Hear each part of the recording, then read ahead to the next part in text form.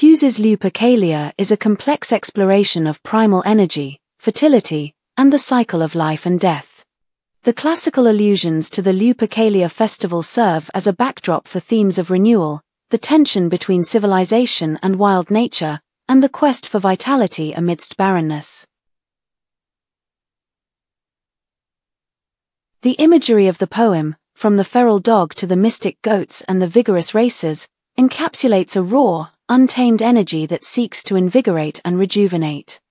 Hughes's invocation of these ancient rites can be seen as an attempt to tap into their primal power to invigorate his own writing, as he described his poems as invocations to writing.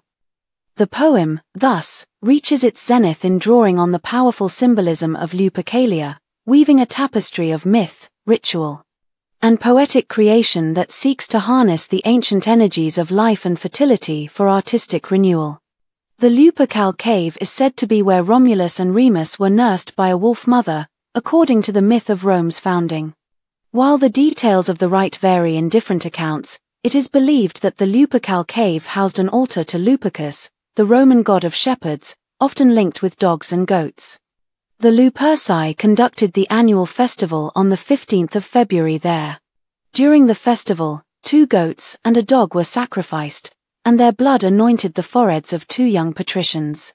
Part of the goat's skin was made into a thong worn by the Luperci, while another part was fashioned into a whip used to strike those they encountered while running through the streets around Palatine Hill.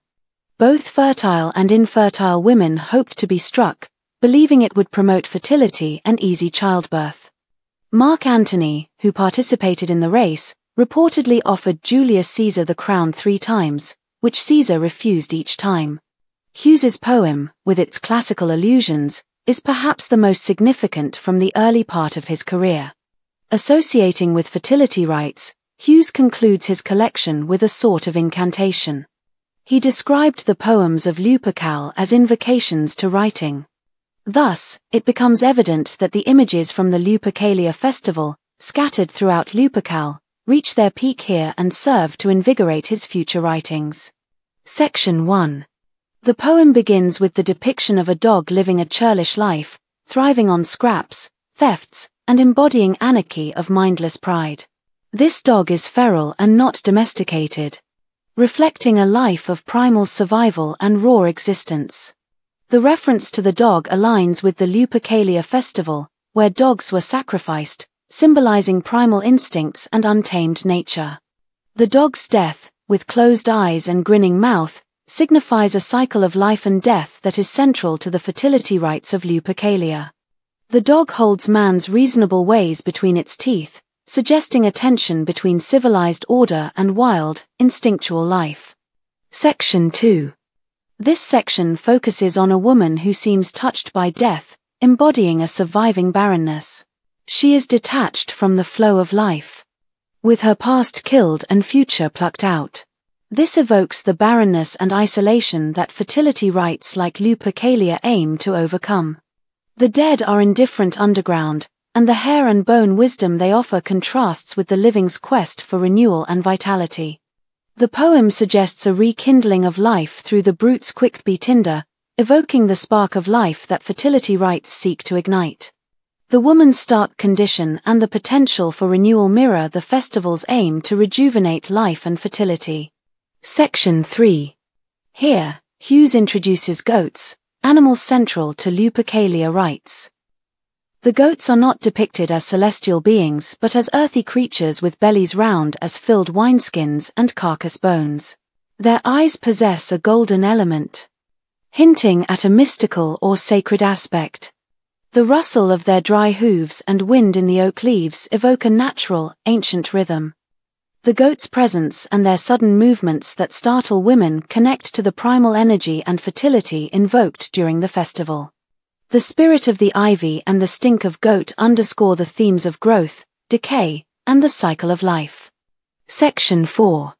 The final section portrays powerful figures with thudding feet and oiled bodies brass bright, reminiscent of the vigorous participants in the Lupercalia festival. The baked red earth and electric blue sky create a vivid, intense setting. The theorem of flung effort, blades signifies the precision and intensity of their actions, reflecting the ritualistic and fervent nature of the festival. The dog's blessing of their fury ties back to the primal energy from the first section. The fresh thongs of goatskin in their hands are directly linked to the Lupercalia rites, where goatskin thongs were used to strike women to promote fertility. The woman being snatched into the race signifies her integration into this vigorous cycle of life and renewal. Lupercalia is from Ted Hughes' second poetry collection, Lupercal, which followed The Hawk in the Rain and was published in 1960. In this second collection, you can observe a notable shift in both style and theme compared to his first. The aggression, boisterous tone, and animal images of cruelty and ruthlessness present in his first collection are much more subdued in Lupercal.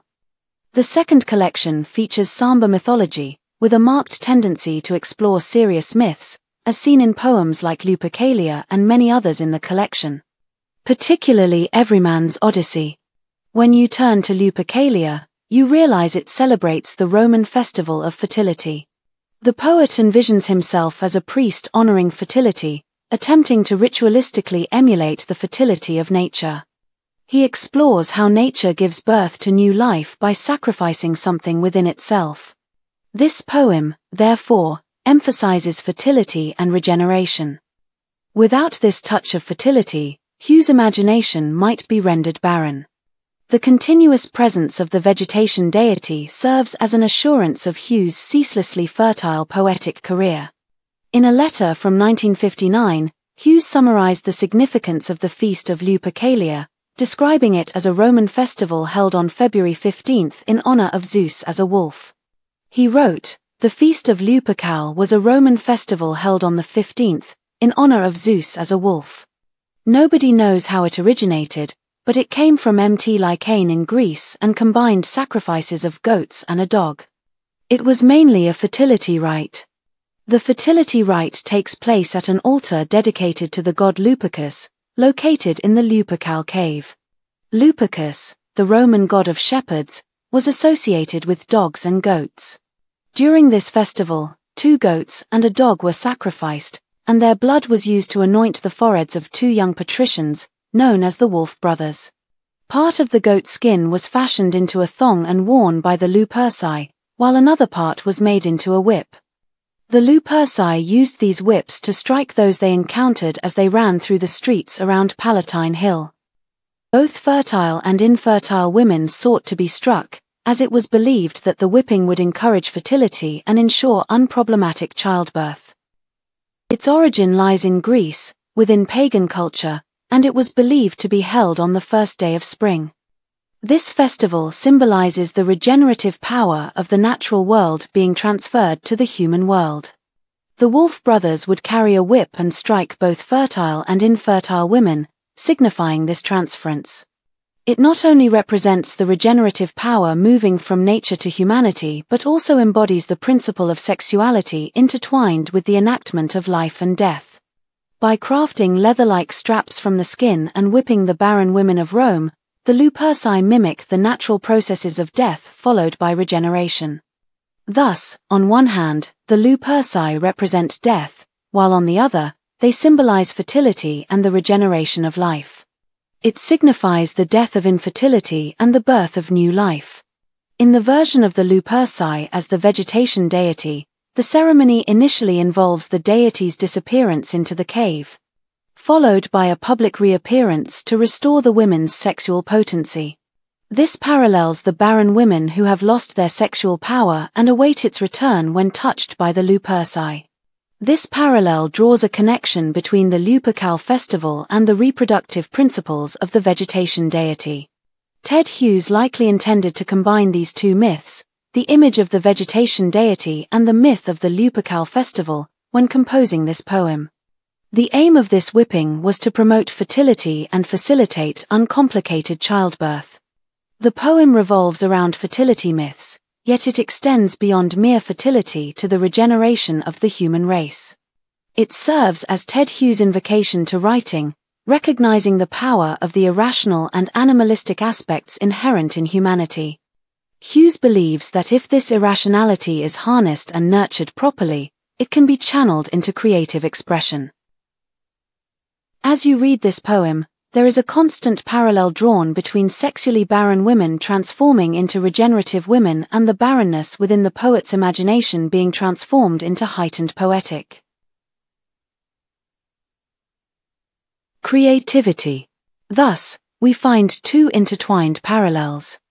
The dog loved its churlish life. Scraps, thefts. Its declined blood. An anarchy of mindless pride. Nobody's pet, but good enough. To double with a bitch's paw. It had bitten ears and little stone eyes. A mouth like an incinerator.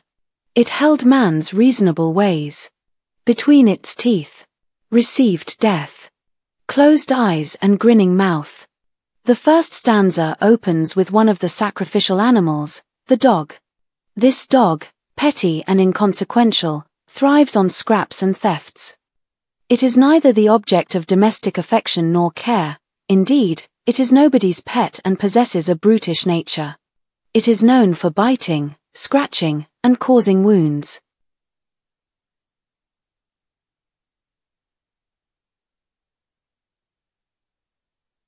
However, observe how such a base creature, like a dog, can transform into something divine by participating in the Lupercal festival. The dog holds man between its teeth, symbolizing the potential for destruction inherent in the animal. Yet, in this particular stanza, the dog causes no harm. Symbolically, Ted Hughes suggests that this seed of creation is embedded in the very heart of destruction. Slung under carcass bones. Yet that's not brute light. And no merely mountain light. Their eyes golden element. Rustle of their dry hooves, dry patter, wind in the oak, leaves, and their bent. Horns, stamp, sudden reared stare. Startle women. Spirit of the ivy. Stink of goat, of a rank thriving. O mountain, listener. This is the second sacrificial animal referred to, the goat. Another base creature, domestic yet at the same time filthy and stinky as it stamps on the dry leaves. Now ivy, the spirit of ivy, possibly representing immortality, so it is this sacrifice of the goat at the altar of Lupercal that offers eternal life to the goat. The reference is again to the creation of life from primal force, to metamorphosis a base animal, the goat, that moves around without any particular objective. How that is metamorphosed into something divine that can restore life, that can help in the regeneration of life. Over sand that the sun's burned out. Thudding feet of the powerful. Their oiled bodies brass, bright. In a drift of dust. The earth's crammed full. Its baked red bellying to the skies. Electric blue. Their attitudes. A theorem of flung effort, blades. Nothing mortal falters their poise. Though wet with blood, the dog has blessed. Their fury. Fresh thongs of goat, skin, in their hands they go bounding past, and deliberate welts have snatched her in. To the figure of races, maker of the world, hurrying the lit ghost of man, age to age while the body hold. Touch this frozen one. Now we return to the group of barren women in the final stanza once more. They are struck by the Luperci or the vegetation deity, experiencing a divine restoration of regenerative powers. The vivid imagery of the Wolf brothers thumping and thudding across the sand, whipping the infertile women, is prominent in this stanza. One can vividly imagine the Wolf brothers in action, whipping the women. The figure of the woman is hailed as the maker of the world, highlighting her pivotal role in regeneration. The Lupercal festival reaches its peak when the dormant sexuality of women is infused with the power of regeneration. The combination of sacrifice and life, destruction, and creation, serves as the central motif of the poem. Symbolically, the fertility myths represent the poet's journey from a loss of creativity and imagination to their subsequent attainment under the influence of the poetic muse. In an interview after the publication of Lupercal, Ted Hughes admits, Almost all the poems in Lupercal were written as invocations to writing. My main consciousness in those days was that it was impossible to write so these invocations were just attempts to crack the apparent impossibility of producing anything. This is a direct reference to how these poems should be read as bursts of creativity, depicting a metamorphosis in the poet himself from barrenness to his creative self. In this regard, Lupercalia should be seen as an invocation to the muse of poetry, which incites the poet's imagination. Ted Hughes finds a parallel between the vegetation deity and the goddess of poetry. As a poet, he relies on the grace of the goddess to transform his barren imagination into a continuous flow of creativity. This creativity not only manifests in writing and composing poems but also in healing the wounds and sufferings of people through his poetry. It is crucial to interpret these poems as a form of invocation. It's not just about the fertility myth itself, but about how the fertility myth is seen as the goddess of poetry.